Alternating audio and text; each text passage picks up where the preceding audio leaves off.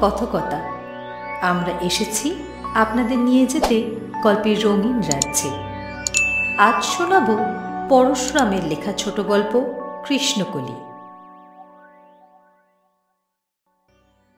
সকালবেলা বেড়াতে বেরিয়েছি। রাস্তার ধারে একটা ফুলুরির দোকানের দাওয়ায় তিন চার বছরের দুটি মেয়ে বসে আছে। একটি মেয়ে কুচকুচে কালো, কিন্তু সুশ্রী। আরেকটি শ্যামবর্ণ। মুখশ্রী মাঝারি রকম। দুজনে আমসত্ত্ব চুষছে। আমি তাকাচ্ছি দেখে তারা মুখ থেকে আমসত্ত্ব বার করে আমার দিকে এগিয়ে ধরল। বোধহয় লোভ দেখানোর জন্য। বললুম কি চুষছ খুকি? কালো মেয়েটি উত্তর দিল বলো দেখিনি কি? চটি জুতোর শুকতলা। এ বাবুটা কিছু জানে না। আমসত্ত্বকে বলছে শুকতলা। অন্য মেয়েটি বললে বোকা বাবু রে। তারপর প্রায় চার বৎসর কেটে গেছে। সকালবেলা বাড়ি থেকে বেরুবার উপক্রম করছি একটি মেয়ে এসে বললে একটু দুব্ব দেবে কা দাদু? বিশ্বকর্মা পুজো হবে। দেখেই চিনেছি এ সেই আমসত্ত্ব চোষা কালো মেয়ে। এখন এর বয়স বোধ হয় আট বছর। বললুম যত খুশি দুব্ব নাও না মেয়েটির সাজ দেখবার মতন। সদ্য স্নান করে এসেছে। এলো চুল পিঠের ওপর ছড়ানো। একটি ফর্সা লাল পেড়ে শাড়ি কোমরে জড়িয়েছে। গা খোলা, কিন্তু আঁচলের একদিক মাথায় দেবার চেষ্টা করছে আর বারবার তা খসে পড়ছে। গোল গোল দুই হাত যেন কোষ্ঠী পাথরে কোঁদা। তাতে ঝকঝকে রূপোর চুড়ি আর অনন্ত। কোমরে রূপোর গোট। গলায় লাল পলার মালা।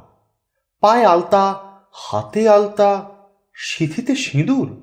জিজ্ঞাসা করলুম এ কি খুকি? বিয়ে করলে কবে? মাথার উপর কাপড় টেনে খুকি বললে খুকি বলনি বাবু আমি এখন বড় হয়েছি আমার নাম কেলিন্দি। আমি বললুম কেলিন্দি নয় কালিন্দি। কিন্তু তোমার আরও ভালো নাম আছে কৃষ্ণকলি। রবি ঠাকুর তোমাকে দেখে লিখেছিলেন কৃষ্ণকলি আমি তারেই বলি। কালো তারে বলে গাঁয়ের লোক কালো তা সে যতই কালো হোক। দেখেছি তার কালো হরিণ চোখ। কৃষ্ণকলি নাম তোমার পছন্দ হয়? কালিন্দি ঘাড় দুলিয়ে জানালে যে খুব পছন্দ হয়। তোমার বিয়ে হলো কবে? সেই অজ্ঞান মাসে। শ্বশুরবাড়ি কোথায়? বরের নাম কি? ধ্যাত বরের নাম বুঝি বলতে আছে। শ্বশুর ঘর হুই হো থাকে ছুতোর বউ মুড়িউলির দোকানে। দাদু ওই রাঙা ফুল দুটো দাও না মা পুজো করবে। চাকরকে বললুম নিতাই গোটা কতক রঙন ফুল পেড়ে দাও। মুখ বেঁকিয়ে সাদা দাঁত বার করে কৃষ্ণকলি বললে মে ও তো নোংরা পিন্টু পড়ে আছে।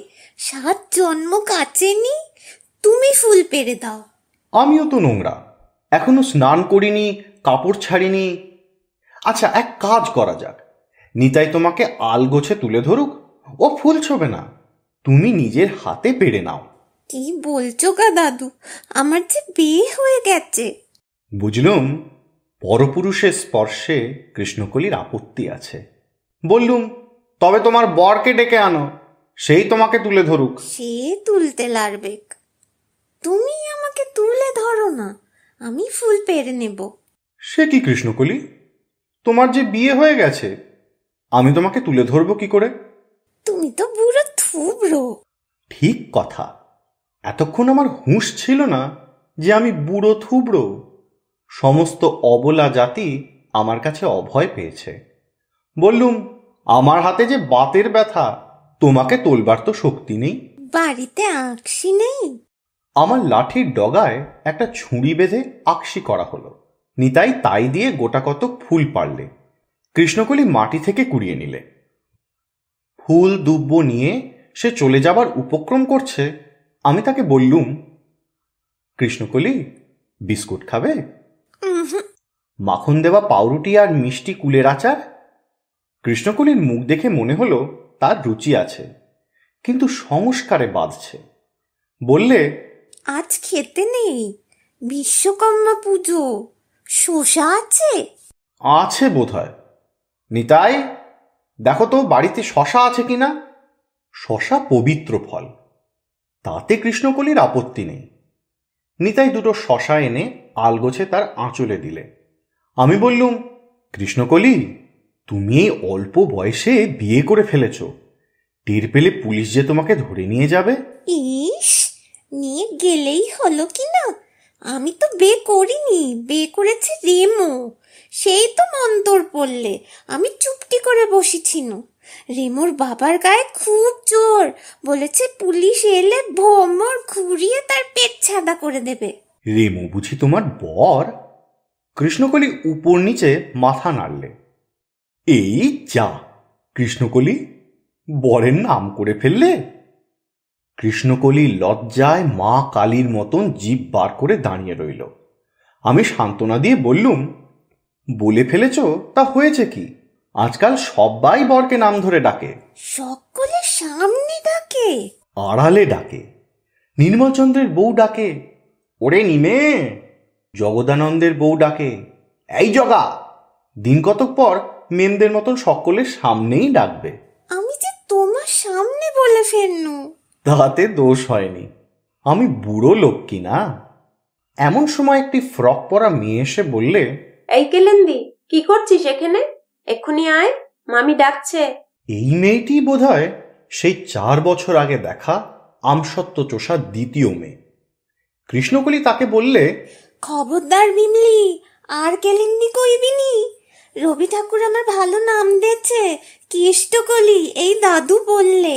মুখভঙ্গি করে দু হাত নেড়ে বিমলি বললে মরি মরি কেলকিষ্টি কেলেন্দির নাম আবার কেষ্ট কলি রূপ দেখে আর বাচ্চি নে। কৃষ্ণকলি বললে দেখো না দাদু বিমলি আমায় ভেঙচি কাটছে। প্রশ্ন করলুম বিমলি তোমার কে হয়? বোন নাকি বোন না ঢেকি ও তো আমার পিস্তু তো ননদ। বিমলি তুই যা আমি একটু পরে যাব। চলে যেতে যেতে বিমলি বললে দেখিস এখন আজ মামি তোকে ছেঁচবে।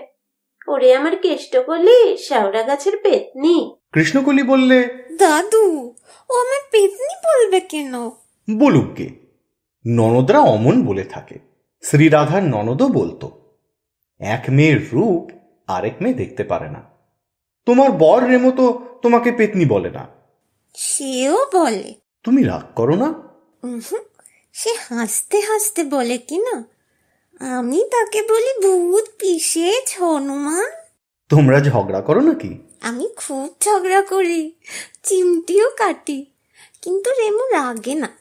শুধু মুখ ব্যাংচায় আর হাসে। এমন সময় রামের মা এলো। সে অনেক দিন থেকে এ বাড়িতে মুড়ি চিড়ে ভাজা দিয়ে আসছে। তার স্বামী মুরারি ছুতোর মিস্ত্রি ভালো কারিগর কাঠের ওপর নকশা তোলে। রামের মা কৃষ্ণকলিকে দেখে বললে ও মা তুই এখানে রয়েছিস? বিমলি যে বলল কেলিন্দি ডিঙ্গি ও এতে ওটা সেটা চারদিকে ঘুরে বেড়াচ্ছে।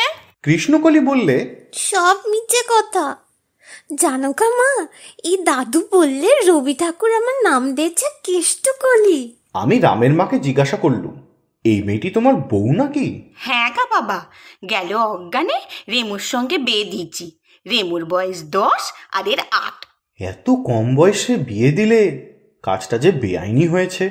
আইন ফাইন জানি নে বাবা। মেয়েটা হতভাগী। ওর মা পাঁচ বছর রোগে ভুগে গেল সঞ্জষ্টি মাসে মলু। বাপটা নক্কি চারা। গাঁজা বাং খেয়ে গেরুয়া পড়ে কোথা তারকেশ্বর কোথা বদ্রেশ্বর টোটো করে ঘুরে বেড়ায়। তাই অনাথা মেয়েটাকে নিজের ঘরে এনে ছেলের সঙ্গে বিয়ে দিনু। ওদের পুলুরির দোকানটাও আমি চালাচ্ছি। আমার তিন মেয়েই তো শ্বশুর ঘর করছে। একটা বউ না আনলে কি আমার চলে বাবা? তা কেলিন্দি এখানে এসে আপনাকে জ্বালাতন করছে বুঝি? না না জ্বালাতন করেনি। একটু গল্প করছিল। তুমি আর একে কেলিন্দি বলো না রামের মা। এখন থেকে কৃষ্ণকলি বলো। হারে কপাল! আমার কুশাশুড়ির নাম ফেষ্ট দাসী ঠাকুর দেবতার নাম কি মুখে আনবার জো আছে বাবা? শ্বশুরবাড়ির গোষ্ঠী সব নাম দখল করে বসে আছে। দাদা শ্বশুর ছিলেন ফরিদাস শ্বশুরের নাম ছিল ফালি দাস খুর শ্বশুর ফ্রিধর শাশুড়ি ফরস্বতী। কৃষ্ণকলি বললে আর তোমার নামটা বলে দেই মা। ফুক্কা ফুক্কতি নাসিনী। আমি বললুম রামের মা, আদর দিয়ে তুমি বউটির মাথা খেয়েছ, মুখের ওপর তোমাকে ঠাট্টা করে? রামের মা হেসে বললে কি করি বাবা? ও ধরনই ওই রকম নিজের মায়ের যত্ন আর কদিন পেয়েছে। জন্মস্তক আমাকেই দেখছে কি না? যে নতুন নামটি বললেন, তার পুরোটি তো বলতে পারব এখন থেকে একে কলি বলব। দেখুন বাবা এর বন্যটা কালো বটে কিন্তু খুব ছিঁড়ি আছে। ছাদটি পরিষ্কার যেন বাটালি দিয়ে গড়া। আর ভারী সতীনক্কি মেয়ে বিমলিটি হচ্ছে কুঁদুলি। এখন আসি বাবা ঘরকে চল রে কলি। আমি বললুম কৃষ্ণকলি তোমার বরকে নিয়ে একদিন এখানে এসো। রামের মা বললে হা আমার কপাল। রেমোর যে বড্ড নজ্জা। বউয়ের সঙ্গে কোথাও যেতে চায় না। আজকালকার ছোড়াদের মতো তো নয় যে সমস্ত বউকে নিয়ে চারদিকে দেই দেই করে নৃত্য করে বেড়াবে। রেমোর পরিক কেটে চুকে যাক আমি একদিন দুটিকে নিয়ে আসব। কৃষ্ণকলি হাত নেড়ে বলল সে তোমাকে কিচ্ছু করতে হবে নি মা। আমি একাই তাকে হির হির করে টেনে নিয়ে আসব। আমি বললুম রামের মা তোমার ছেলে তো সেকেলে কিন্তু বউটি যে অত্যন্ত একেলে। ওটুকু সেরে যাবে বাবা। একটু বড় হলেই নজ্জা সরম আসবে। রামের মা তার পুত্রবধূকে নিয়ে চলে গেল। কৃষ্ণকলির কপাল ভালো। আট বছর বয়সেই সে শাশুড়ির কাছ থেকে সতীলক্ষ্মী সার্টিফিকেট আদায় করেছে। এক মা হারিয়ে আর এক মা পেয়েছে। এমন বর পেয়েছে যাকে নির্বিবাদে চিমটি কাটা চলে। আর হির হির করে টেনে আনা যায়। এতক্ষণ আপনারা শুনছিলেন পরশুরামের লেখা ছোট গল্প, কৃষ্ণকলি। কথক সাগ্নিক কৃষ্ণকলি, শ্রেয়া। বিমলা, তমা। সম্পাদনায় গোর্কি প্রচ্ছদ অঙ্কন করেছে উর্মি। রামের মায়ের চরিত্রে টিনা। এবং গল্পে সূত্রধার আমি, অমৃতা। আমাদের গল্প যদি আপনাদের ভালো লেগে থাকে, তবে আমাদের চ্যানেলটি লাইক, শেয়ার এবং সাবস্ক্রাইব করতে ভুলবেন না।